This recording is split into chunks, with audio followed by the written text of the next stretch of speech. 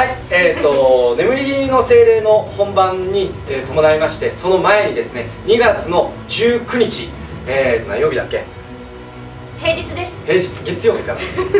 にえー、とシアターカフェニャンというところで「弥勒と北進」の上映会がございますえー、とちょっと料金かかってしまうんですけれども本編が終わった後にですねこの「眠り木の精霊」に出ているキャストさんたちによるアフタートーク等々ございます。あのいち早く稽古場のあの裏話であったりだとか作品の見どころについて、えー、と聞ける機会となっていますのでもしよろしければ、えーお越しください。ではありがとうございました。